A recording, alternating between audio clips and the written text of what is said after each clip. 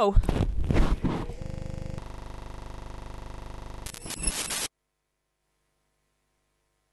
No. There. Sorry. Right. Right, we'll start again. Good morning. I'm Rosemary Bonkowski, the chairperson of um, the Canterbury and West Coast Division of the Neurological Foundation, and I'd like to welcome you all to Brain Day uh, Christchurch, which is part of 2013 Brain Awareness Week New Zealand, um, and we're proudly sponsored by the Neurological Foundation. Last year, the Neurological Foundation uh, celebrated 40 years of funding neurological research in New Zealand. In 1972, not long after the formation of the foundation, five neurological research projects were approved at a cost of $28,200. Now, I don't know what that is in today's money, but not very much. In 2012, the foundation reached an astonishing annual contribution of $2 million in funding to neurological research projects, and we're thrilled to have funded over 50 funded projects across New Zealand currently. Through this funding, the Foundation continues to make an impact on the progress of research into devastating disorders such as Alzheimer's, Parkinson's, and Huntington's disease, uh, stroke, epilepsy, migraine, brain cancer, motor neurone disease, muscular dystrophy, and many, many more. And will affect, these will affect one in five New Zealanders during their lifetime. It has only been through the generosity of the Foundation supporters and bequesters that this achievement has been uh, possible. So thank you all very much. Today's event is supported by the New Zealand Brain Research Institute, based here in Christchurch. Together, we're thrilled to present an insightful lineup of lectures and seminars that we're sure will leave you inspired with, and with a greater understanding of the incredible research work being carried out in laboratories and clinics in this country. Now, just before I introduce Jon, I'd just like to mention that in the foyer after the lecture, if you register for the book draw, you can go into the draw to win three cop- uh, uh, well, there's three copies to be won of The Power of Us, which is a book about many famous New Zealanders um, and includes Richard Faull, who's the director of the Brain Institute in um, Auckland. And I'd also just like to mention there in the foyer, there are the, all the support groups for the various societies, Alzheimer's, Parkinson's, if you'd like to look at those in between speakers. And for our physical comforts is the naked baker who's not uh, naked. He's outside with uh, muffins, coffee, whatever, um, just to sustain you during the day. Now, down to business. Our first key speaker of today's exciting lineup is neurologist Dr. S- uh, Jon Simcock with Brain Disorders Progress and Prospects. Dr. Jon Simcock has enjoyed a long and distinguished career as a neurologist. He was born in Dunedin, educated at New Plymouth Boys High School, and graduated from the Otago School of Medicine in 1960. He became a member of the Royal Australasian College of Physicians in 1964 and completed his specialist training as a neurologist at the National Hospital for Nervous Diseases, Queen's Square, London, in 1968. He then took up a position at Auckland Hospital, also conducting neurology clinics at Northland and Taranaki base hospitals. He retired from his full uh, time public hospital positions in, 20, in, 2002, but continued in private practice and occasional uh, temporary duties at various hospitals in the North Island until recently. Dr. Simcock has been the Foundation's medical advisor since 1994. Today, Dr. Simcock will speak about the latest progress in the understanding of brain disorders. He will also discuss how the 21st century has introduced exciting new neurological investigation techniques, paving the way for enhanced diagnosis and treatment. And I'd like you to please give a warm welcome to Dr. Simcock.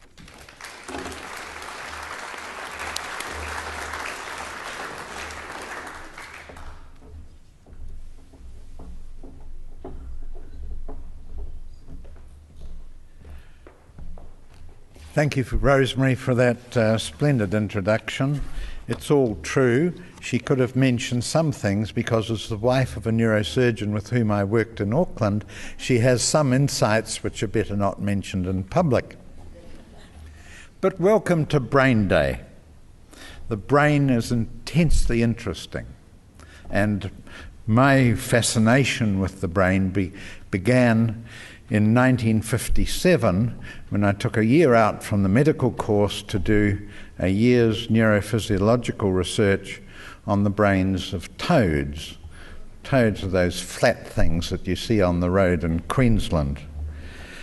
Um, but then I continued with neurology and uh, finished my neurology training in London, returning to Auckland in 1968, and since then have been in neurological practice. So I can look back over 45 years as a neurologist and it has been an exciting 45 years, and I wish, only wish there were another 45 to go.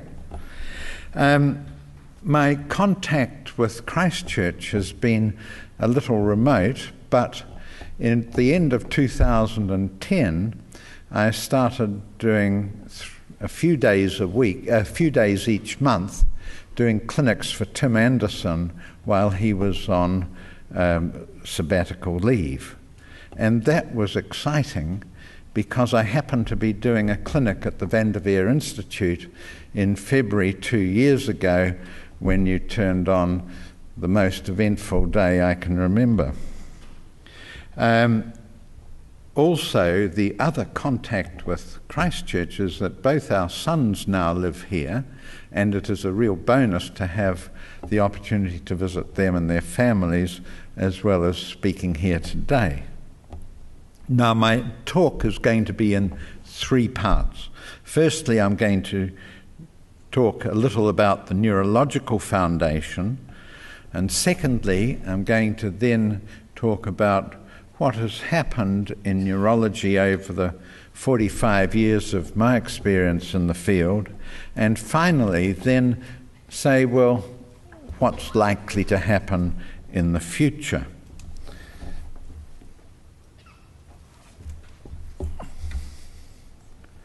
Now, the Neurological Foundation has the mission statement to alleviate suffering of disorders of the brain and nervous system through research and education.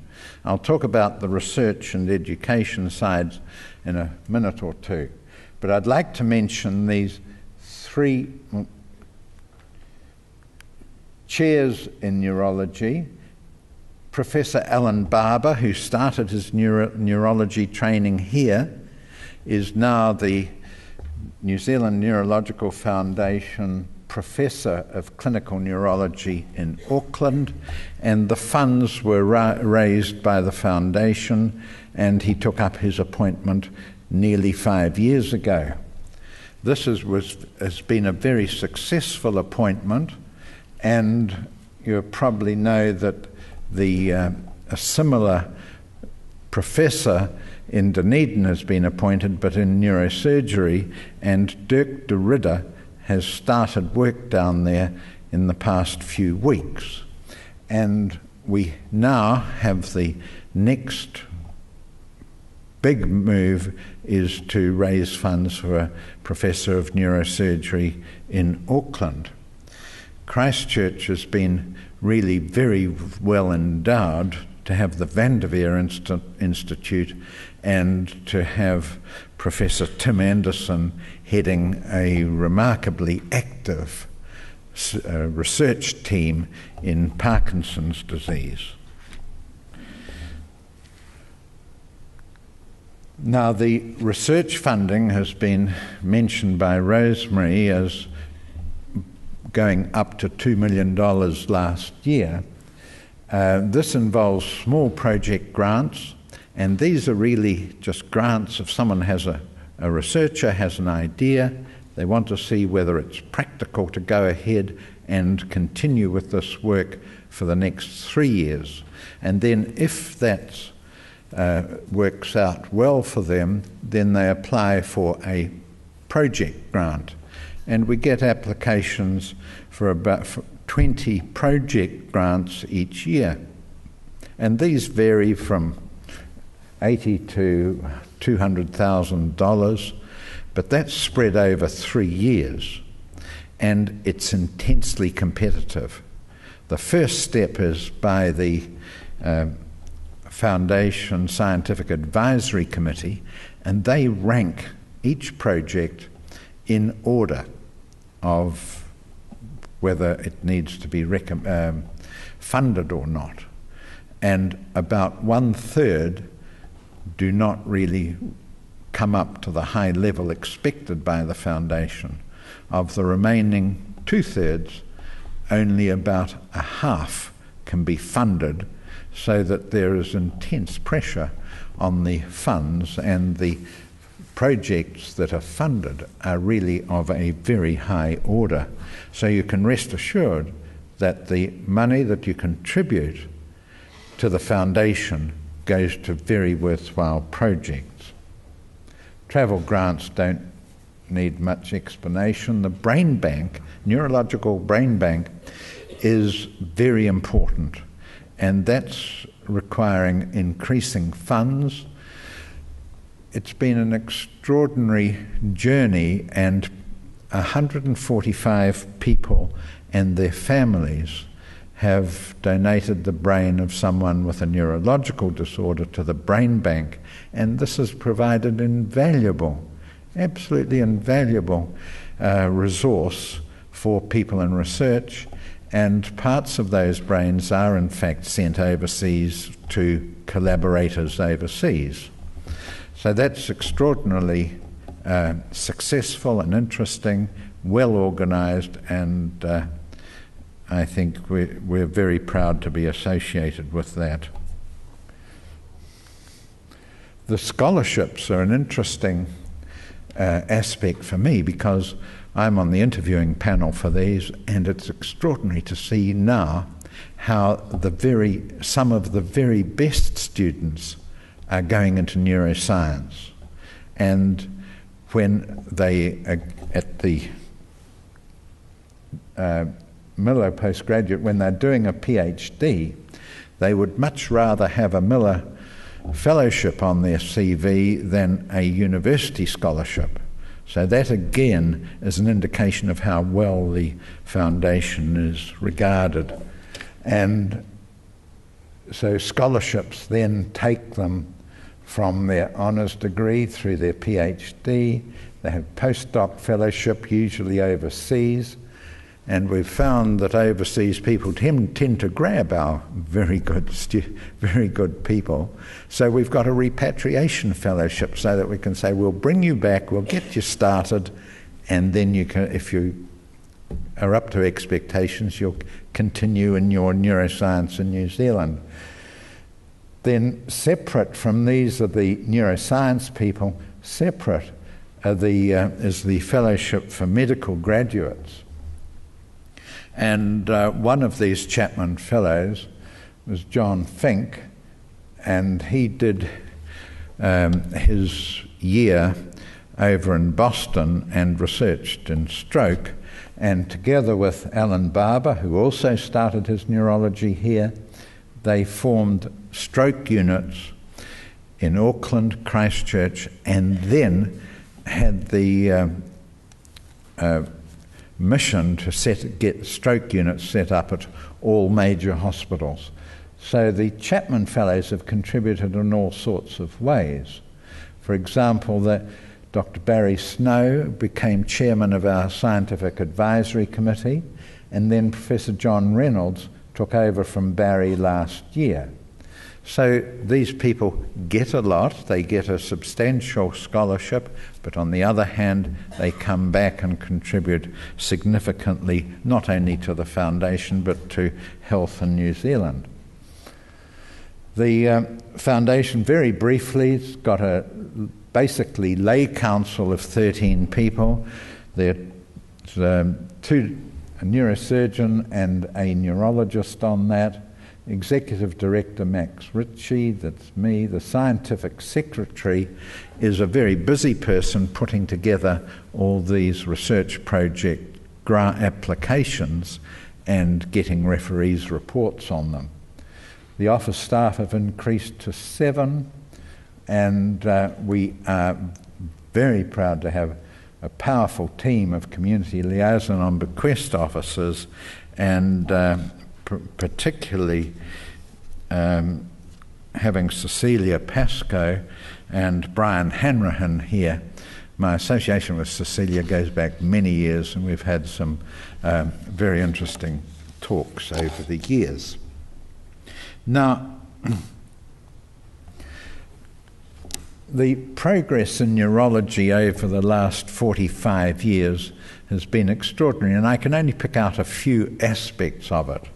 From the basic science point of view, the most impressive part has been the development of genetics and molecular biology, and uh, the knowledge that has increased in neurodegenerative disorders. And Bronwyn Connor will talk about this in the second talk, so I don't need to mention those in any detail. Uh, multiple sclerosis and the immunology of the nervous system, I'll only speak from a rather superficial level because Debbie Mason's going to be talking about that later in the day. Um, the most striking change from the point of view of the patient has been in neuroimaging. So, a lot of my talk will be some slides which explain all about neuroimaging. The genetic side of it, I'd like to talk to you about a patient, very special to me because I first met her when I was a medical registrar and she was aged 17 in the psychiatric ward at Auckland Hospital. And so I was a registrar. The senior neurologist recognized that she had a very unusual disorder. And his comment was, she is a very good example of the condition from which he, she suffers. But we didn't know what it was. And the reason that we didn't know what it was, because there was no description in the English literature until 1977. But he did recognize her problem, in fact, was that as the day wore on, she got increasing difficulty with walking, so that she had a very, very difficult gait.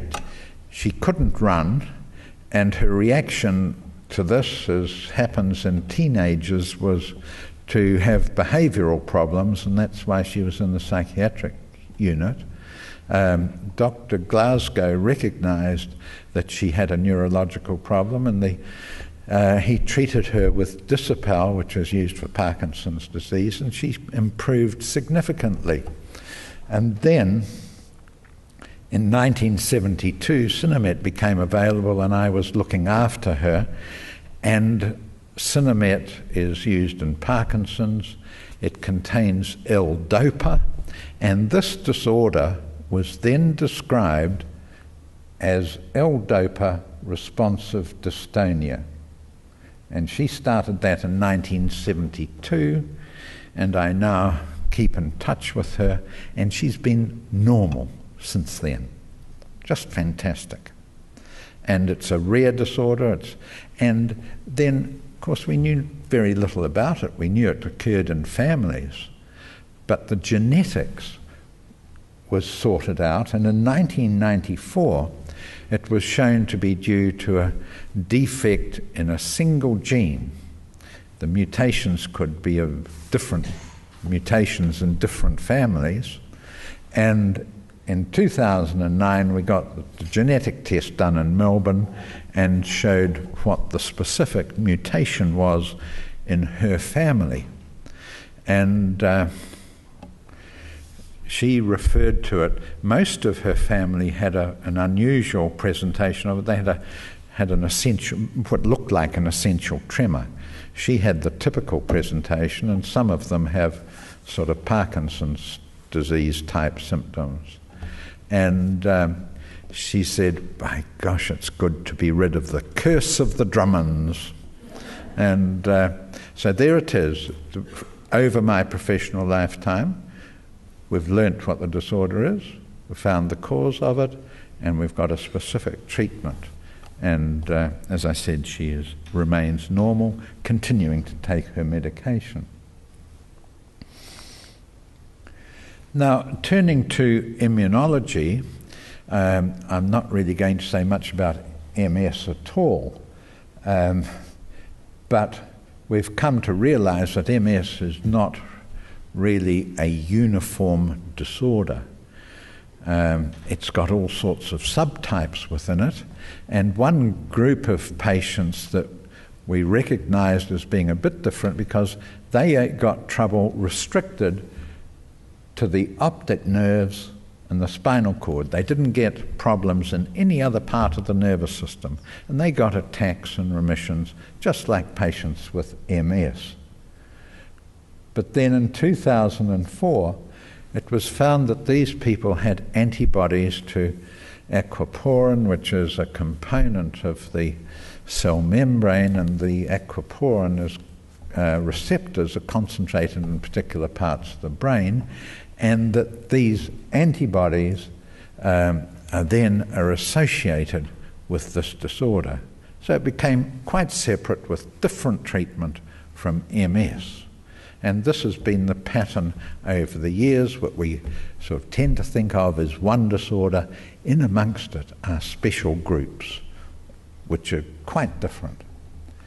And narcolepsy, when I was a student, you know, it was fascinating to hear about narcolepsy because these people would, uh, it would, narcolepsy generally come on, say, in the 20s and characteristically, people would have this irresistible urge to go to sleep, have a sleep for three or four minutes, the batteries be recharged, and they'd be all right.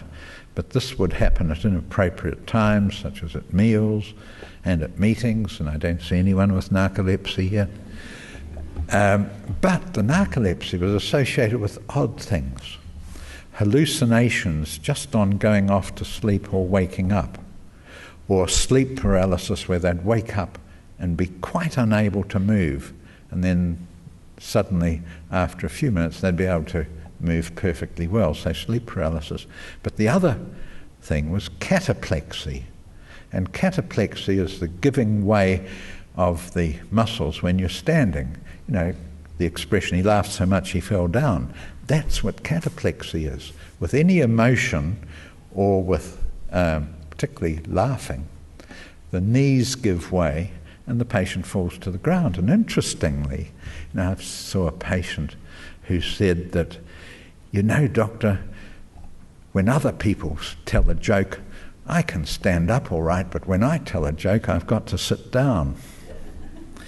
And another patient who shared an interest of mine, which was duck shooting, He'd be there 6:30 a.m. first morning, first Saturday morning of May, light coming up, and then the ducks. ducks, where are they? And then, you know, as soon as a duck came in range and he lifted his gun, he'd collapse to the floor of the mai So he had to shoot sitting down. And the other thing that happened to him was that when he got angry with the children and raised his hand in anger, he'd collapse to the ground. And his children thought was this, this was great. So they'd really wind him up on occasions just to see the reaction. So there it was, a very. Now, we had no idea what this could possibly be.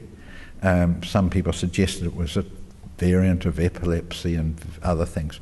But it turns out that there are antibodies to these orexin producing cells in the lateral hypothalamus, the base of the brain, which is sort of the integrating part for sleep and also the maintenance of tone in the muscles. So it all fits together when you know what it is. But, you know, there it was until um, 10 years ago we really had no idea what the cause of narcolepsy was, and it turns out to be an autoimmune disorder. Now, the first autoimmune disorder that I came across uh, with regard to neurology was myasthenia gravis.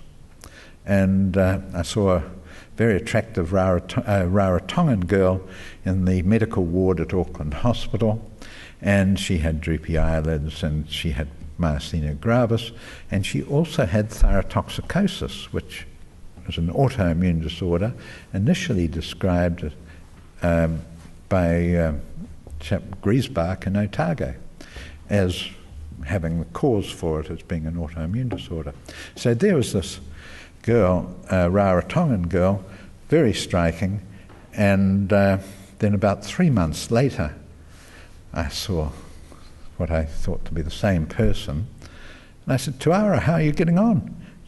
And this person gave no response at all. And it was her identical twin sister with myasthenia gravis. And the interesting thing about that was that I'd go to Rarotonga and uh, do the neurology there every so often, and I saw her again, and uh, this is now 38 years after I initially saw her, and she is well, and the myasthenia has disappeared. But anyway, there it is. Autoimmune disorders crop up in odd things, and recently there have been described a, a number of autoimmune disorders affecting different parts of the nervous system, which previously were just called encephalitis or some other label. But now we know that autoimmunity is involved and we can treat them appropriately. With Parkinson's disease, the most important uh, step forward uh, in my career was in 1972. Shortly after I got back, Madopar and Sinemet came on the market, and they are really the first line treatment in this disorder still. And the medications that have come since then, uh, with bromocriptine, tolcapone, and various other medications, the uh, clozapine and midodrine, nothing has been as impressive as the uh, advent of Sinemet and Madopar, deep brain stimulation uh, is of great benefit to a very small number of selected patients. But the big step forward in Parkinson's disease is in understanding what the changes in the brain cells are in those particular areas in the substantia nigra where the brain cells are being lost. So there's been remarkable understanding there. And if you know what the, is going on with those brain cells, then there is the potential for reversing that and preventing or stopping the progression of the disease, uh, which is what the aim of the research is about. And a lot of that research is being done in both Auckland and Dunedin. In uh, stroke or epilepsy, I think I'll mention that right at the end in the interest of time. Video monitoring is uh, an important part that has come in since I was first started in neurology. Stroke, the, um, the management of stroke has been uh, revolutionized by the advent of the CT and MR so that we can make an accurate diagnosis without doing terrible things to the patient. And the clot busting medications are increasingly effective, and this is uh, now practiced in all main centres.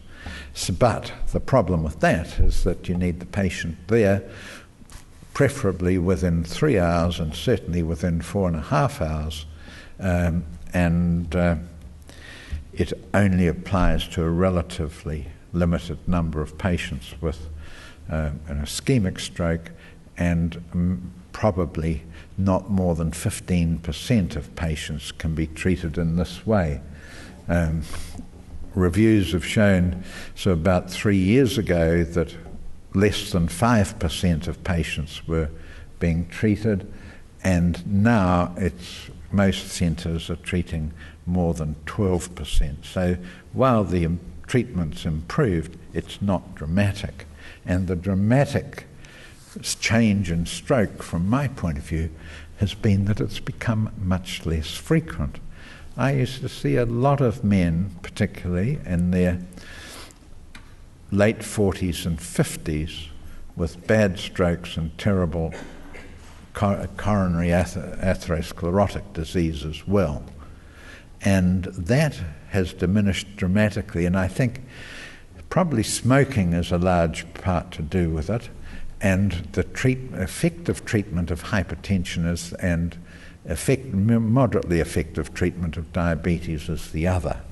So it's the prevention that has made the big difference over the last 45 years in stroke rather than any other change.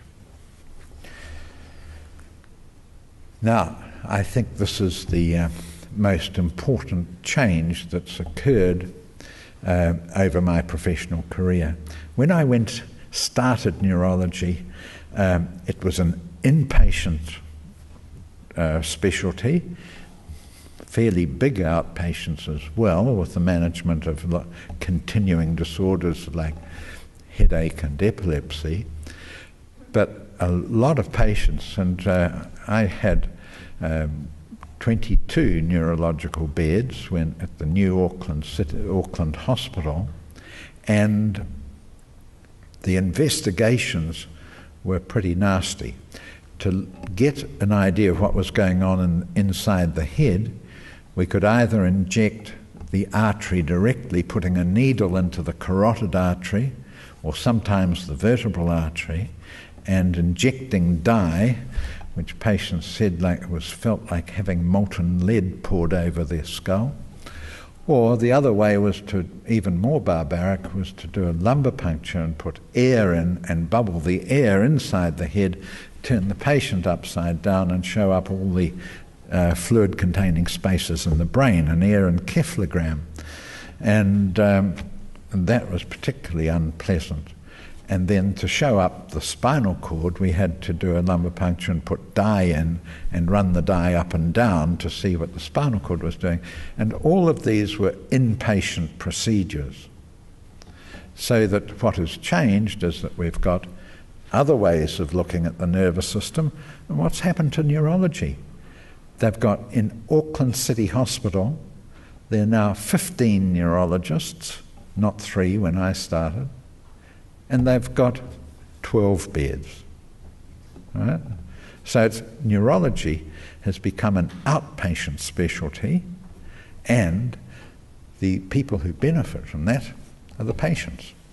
So I'll take you through some of these uh, neuroimaging techniques.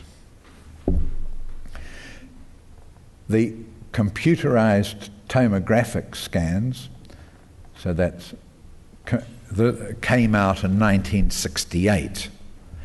And at that stage, computer had some mysticism, so they were called computerized. And a tomogram is just a cut. And these scans were like cutting through the brain and giving a picture of brain slices. So that's why it got the name CT scans.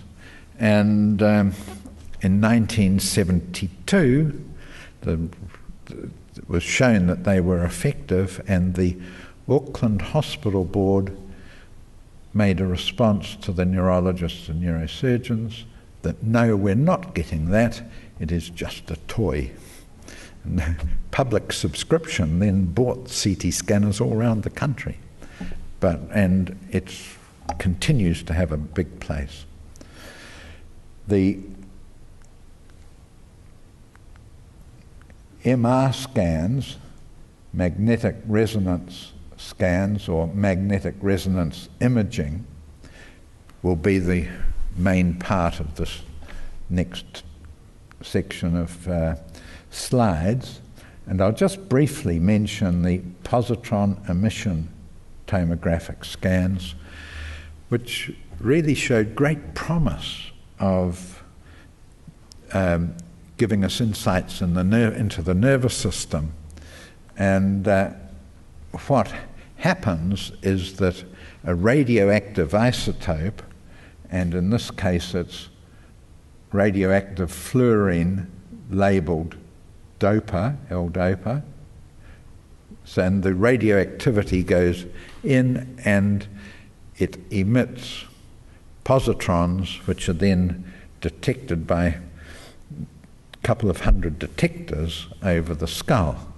So you need a cyclotron to produce the short acting radioactivity, you need a team of physicists, you need doctors, and you need radiologists. So it's very expensive. And PET scanning now really its places in uh, the assessment of malignant disease with spread of spread of cancers in the body. Very good at detecting those, but it hasn't any place in ordinary clinical neurology. But I show this picture because it's such a beautiful picture. This is the a cut through the head, about through the middle, with the front and the back, and in the normal person, this radioactive fluorodopa is taken up into all these groups, these nerve cells at the base of the brain. And in Parkinson's disease, there's about a tenth of the amount that was taken up here. And this was dramatic finding at the time.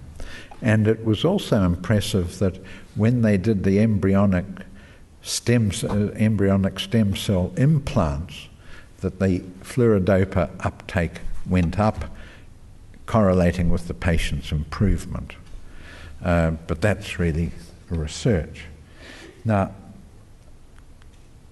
MR scanning uh, came in in the early 1990s and has had a huge impact on clinical neurology in a number of ways. Now, again, the scans, MR scans, can be done in any plane. They can be done across so that you get this sort of picture, or this plane, or vertical plane. So you can do the, the scans in all planes, and you can do them at uh, generally it's four millimeter slices. So you get say f- 50 slices in a single scan, starting at starting at the bottom, going up to the top. So here's just to show you the detail that we can get is that obviously this is a cut through both eyes, and the black here is the wall of the eye. The white is all mainly fluid containing uh, material in the eye, and there's the lens. Here are the muscles, the dark ones that move the eye, and going from the back of the eye is the nerve that takes the messages back into the brain. And this part here, this white, is in fact fat. And you can see that there's quite a lot of fat in the scalp. Then coming to the brain, this is the front of the temporal lobe, and the fluid is the spinal fluid, the cerebrospinal fluid, over the surface of the brain.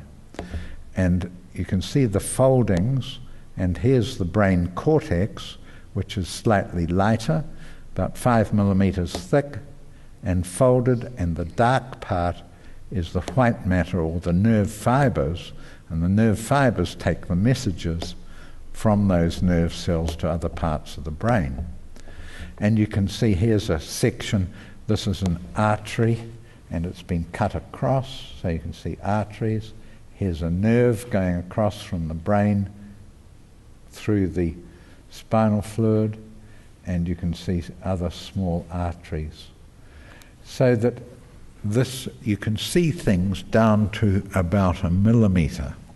So it's absolutely exquisite getting detailed pictures of the brain. And you'll see, but it's not just one technique, you can do other techniques. And one of the other things you can do is to inject contrast and then take a film, and then you see all the veins. Here's the whole head, the nose, and the lips, chin, and blood from the surface of the brain goes up in these things and it's collected in this big vein here, which goes all the way down, around, and down the jugular vein, down to the heart. And blood from the inner deep part of the brain goes down these ones here, collected in here, going around here to there, down there, and out.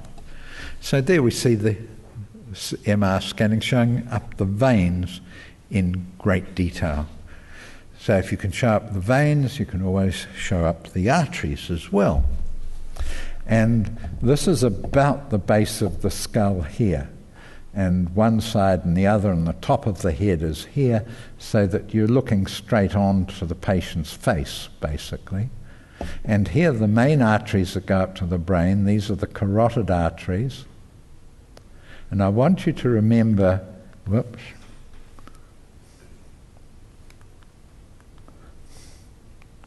My thumb's too big. I'm no good at doing this texting. Um, I want you to remember here's the carotid artery, here's the middle cerebral artery coming out here and out here. And you'll see this on a next but one slide. Now, when you look at a slide, you always want to look for the arrow. The radiologists put an arrow on anything that's important. And here's the arrow, and it's pointing to this outpouching of the artery occurring where it divides into three, and that is an aneurysm. And unfortunately, aneurysms can bleed, and with the first bleed, about 30% of them are fatal. So if someone's had a bleed and survives that, you really want to prevent further, further bleeds. Now, the clever neurosurgeons can get to that by opening the skull and separating it out and putting a clip across the neck of the aneurysm, and that cures it. That requires a lot of technical expertise, and uh, it's not a straightforward procedure. The other technique that's been developed, and this is the sort of thing that you know, has got spin off from the developments in technology, is by the interventionist neuroradiologists. And this is the really continues down from the ones that you've already, the arteries you've already seen.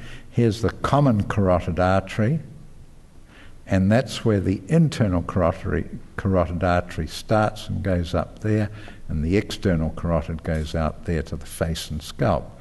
So here's the internal carotid artery, and here, way down at the bottom down here is the groin, and here's the aorta. The main arteries coming out here to the arm. That's obviously the neck and the shoulders. And the clever radiologists can put a catheter from down here in the groin, goes up the aorta, up through here, up the common carotid artery, up the internal carotid artery, up here, wiggle it around, turn the corners, put the catheter actually into the neck of that aneurysm, and fill the aneurysm with platinum wire. Just extraordinary. And so there it is, it clots up, the artery, the aneurysm's fixed, and the patient hasn't had their head opened. So the advances in technology have a spin off in neurology and neurosurgery.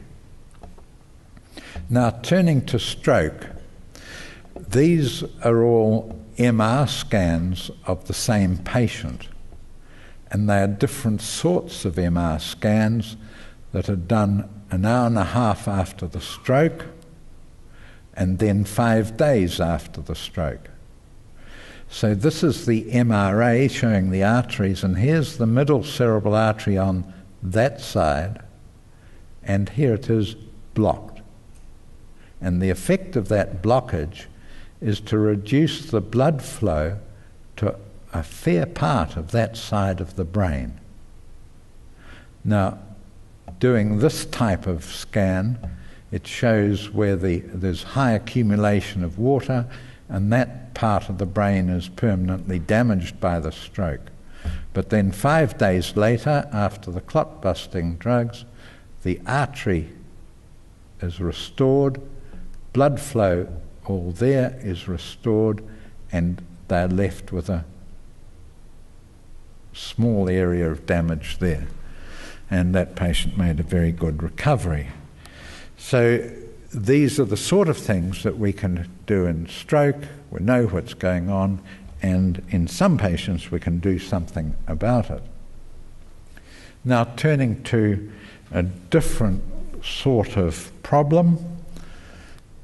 This is a 48 year old woman who lost the vision to the left side. She couldn't see anything to the left side of where she was looking. And here is a scan, a cut done through the head. That's the front, and that's the back, and one side and the other. And this side is normal with the normal spaces containing fluid in the brain, and all these are normal spaces and normal fluid over the brain, and you can see the convolutions and the grey matter, which is slightly lighter, and the white matter, the nerve fibre layer, and here all of the structures have got an abnormality. It involves the cortex and the white matter. Now, it doesn't fit, it could look a bit like a stroke, but it's not because it doesn't fit to the territory of an artery. And then a special technique was done to show up minute amounts of iron. And here is the this it's a bit blurred because it's you know, a changed sort of scan. And here you can see all these lots and lots of little they're micro hemorrhages, they're little hemorrhages, and even some on the other side. So this patient's had little hemorrhages, and now they've got a large patch of problem, and she, she's got amyloid angiopathy. The small blood vessels have been infiltrated with amyloid, and in the area that I showed you, that's all an inflammatory response and she was treated with anti inflammatories with some improvement. But she's then got the problem of the amyloid, which she could have a big hemorrhage. And that sort of amyloid angiography does occur in Alzheimer's disease, and I'll talk about that later on at the end. Now, this is the only CAT scan I've shown, and you know it's a CAT scan because the skull is shown in white. And the CAT scan's fantastic at showing up ba- uh, bone and blood. So it's the ideal thing. If someone has a head injury, CT scan's going to show you fractures in the skull and show you if there's any blood present, any hemorrhages. So it's ideal, it's quick, it's easy, and you can also show up the blood vessels on a CT scan. And uh, it's not that CT scan is worse or better than MR scanning, they've got different uses, but they're both very useful investigations. And this patient is 42 year old man and he'd lost the vision his vision had uh, went to initially noted some sort of flickering, shimmering out to one side, and then it spread to involve everything that he was looking at, and things appeared very blurred. And uh, the front half of the brain is normal, and this grey matter, white matter, and the dark is spinal fluid or cerebrospinal fluid in the brain. And the back half is abnormal. But the, it's interesting if you look, white matter, the grey matter is pretty good, but all this changes in the white matter. And that is shown up in the MR scan of the same patient at the same time. And you can see these odd changes which are strictly confined to the white matter. And that is a, an unusual presentation of multiple sclerosis. And the MR scan has really transformed our understanding of multiple sclerosis. I don't need to mention anything further because Debbie Mason is going to talk about that later today.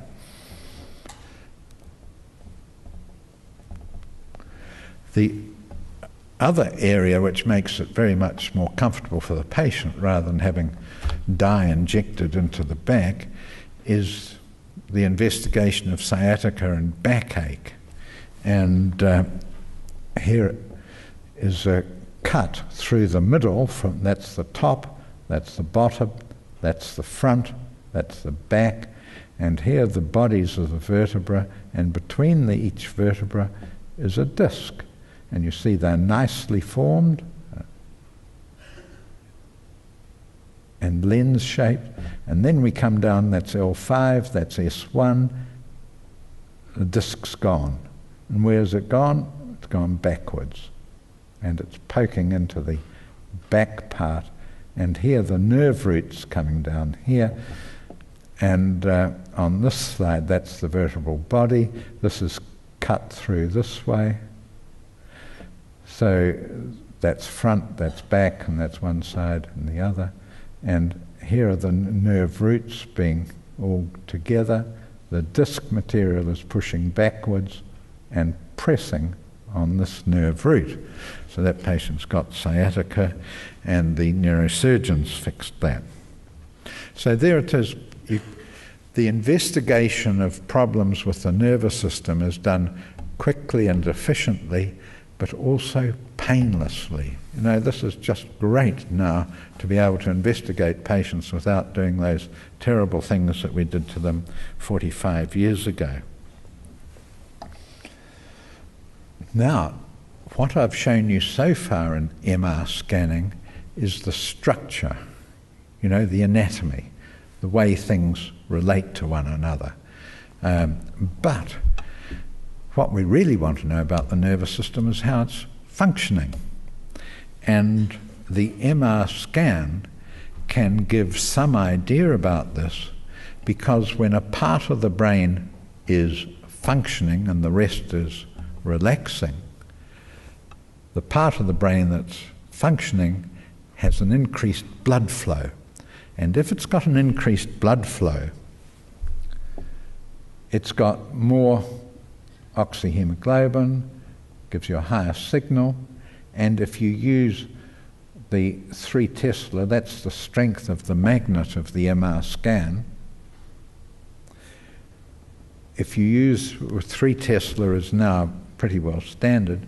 So you can get an 8% signal difference between the active part of the brain and the inactive, and that's enough to really show up uh, things you want to see.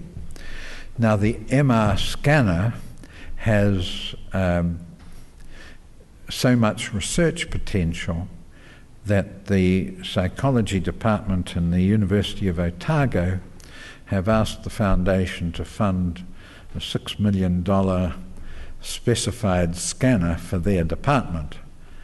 And uh, the answer went back, well, no, we're not, haven't got that much money.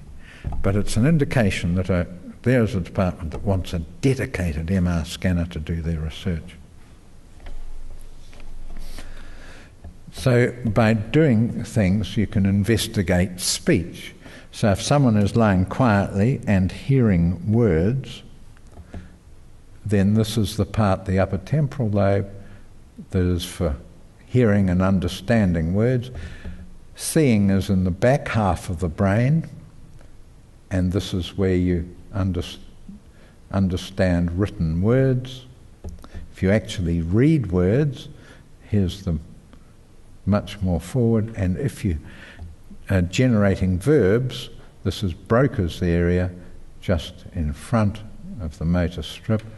So you can see that, as you'd expect, different parts of the brain are doing different things, but you can ask a whole lot of questions um, when you've got functional MR scanning. And this is a complicated slide. Uh, we'll just do the left hand side, and this is the midline of the brain here, and that's front and that's the back, and there's the cerebellum, the base of the brain, the temporal lobe. So we're looking from above and from the right side. So we're looking from above, from the right side, and also from behind. And this patient had epilepsy, and it was arising from a little cavernous angioma, and an abnormality of blood vessels just there. Now, what the surgeon wanted to know was if he operated on that, would there be any chance of uh, giving some paralysis?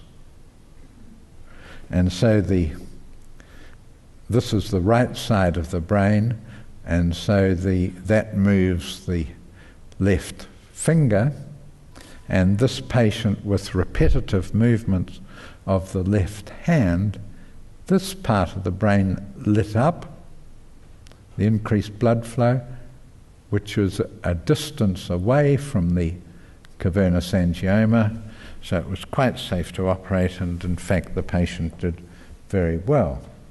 So, functional imaging is a thing of the future. Now, where do we go from here? We've seen that there have been marked changes over the 45 years. Where do we go? And uh, with the neurodegenerative changes, the major changes with those are in the understanding of what is going on with the um, mechanisms that end up with the death of the nerve cells. And that gives us the ability to change. And I think we're going to see treatment of both Alzheimer's and Parkinson's disease uh, within the next decade. Um, with Alzheimer's disease, we've, uh, we've talked about mechanisms, and the genetics of Parkinson's disease um, have been well recognized. Very occasionally, there are families who have a, an identifiable genetic inherited mutation that causes the disorder. And generally, the patients have the Alzheimer's coming on at a younger age and are different, and that is un- distinctly uncommon. But there are other genetic factors, such as the ApoE4 allele of a gene, one, a particular variation on a gene that can predispose you, just makes it a bit more likely to happen, and one or two other genetic markers. So, yes, genetics can have an effect in Alzheimer's. Amyloid remains the main um, abnormality, and this is uh, a, a lot is now known about these the amyloid, which is an odd protein, and it starts as, an, as a soluble protein that does no damage, and then it becomes insoluble, it folds up, and when it forms that, it forms insoluble collections of amyloid in the walls of the blood vessels, outside the nerve cells, and actually inside the nerve cells, and that does you a power of no good. And the whole process of that is relatively well worked out.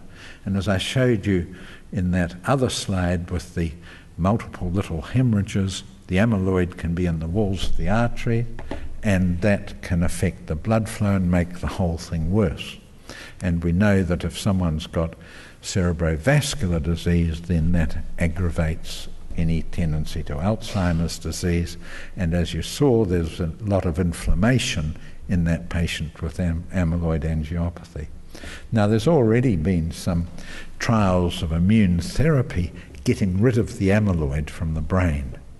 Um, the, the, unfortunately, there were bad complications, and the trial had to be stopped. But at least, at least we've got a start on effective treatment for Alzheimer's disease. For cerebrovascular disease, uh, I don't see any real change occurring in the management of a stroke after it's occurred. So the whole emphasis needs to be on prevention and the prevention of and treatment of hypertension, raised cholesterol, diabetes. And then there's a group of patients that we've tended to forget about over the years, don't have ordinary strokes, but they have changes in the brain that may just progress very slowly rather than having strokes, and that's due to changes in the very small blood vessels. And that occurs more in Alzheimer's, and I think that is a group of patients that really we need to learn a whole lot more about. Uh, so, small vessel vascular disease in the brain is something that's not talked about very much now, but I think should res- get a lot more attention. With epilepsy, the genetics and the um, biology that goes on from the genetics has given us a clue as to what is going on in some patients with epilepsy. But again, epilepsy isn't a single diagnosis, it's lots of different things. In fact, just about anything that goes wrong with the brain can end up with epilepsy. Uh, so that we're trying to seek out, sort it out, and find out which medications are best for which type of epilepsy and which, pa- which types of medication are best for a specific patient.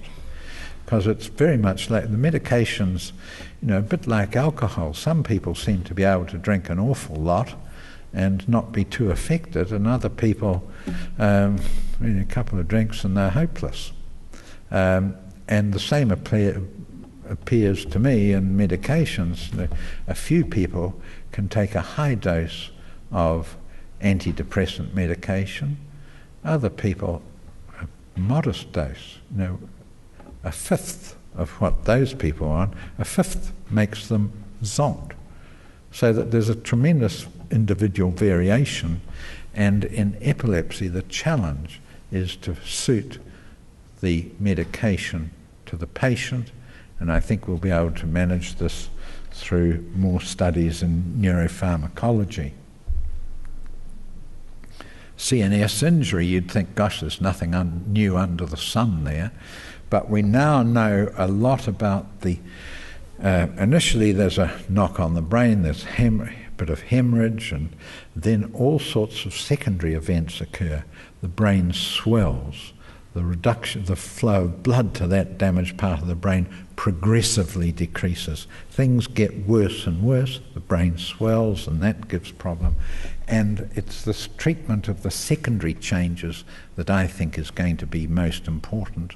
And treatment of brain injury, I think, is going to be much better than the treatment of stroke. And the the idea of time is brain is most important it's going to be very important to start treatment within American uh, football.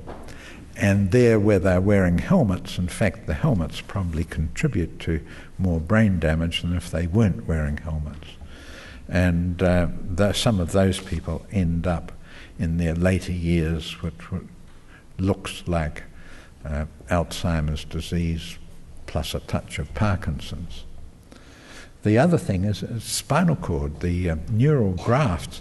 It seems as though you ne- only need a relatively small number of nerve fibres to bridge a gap in the spinal cord to get the legs to move again. And I think this is going to happen in people who've had severe spinal cord injury. I think the treatment and management of that is going to be very much better in the future. So, in summary, you'll be pleased to see this. Summary always means it's the last slide. Um, there have been amazing changes in the last 45 years. And over the 45 years, the rate of change has got faster and faster. Well, I think that's true, or it might be that my brain's just getting slower and slower. But anyway, the rate of change, I think, is getting faster, and this rate of increase in knowledge, I'm sure, will accelerate. Just look at the number of people moving into neuroscience now. It's um, a hu- huge change with a great prospect for the future management of the neurological problems. But the progress, as in the past, will depend on research, and the research will need to be funded. But the important thing from our point of view of our community is that New Zealand will continue to make substantial contributions to this research.